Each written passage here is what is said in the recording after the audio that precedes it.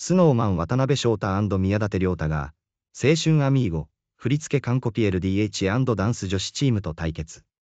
9人組グループ Snow Man が出演する、8日放送の TBS 系バラエティ、それ Snow Man にやらせてください。毎週金曜後8時2時間 SP では、メンバーとバラエティ番組初共演となる関口メンディー、 EXILE GENERATIONS 小森隼、 GENERATIONS 藤原樹 THE RAMPAGE、木村慧人 FANTASTICS の LDH チーム、さらに、7、マックス後藤真希、伊原立花、本田美優の芸能界が誇るダンス女子が集結し、新企画、ダンスの完コピレボリューションを届ける。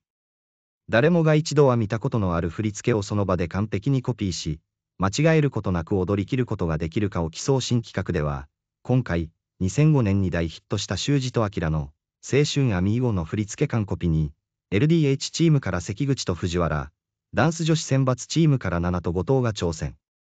そしてスノーマンからは、生まれた病院から幼稚園、高校まで同じの幼馴染コンビ、渡辺翔太と宮舘良太が挑む。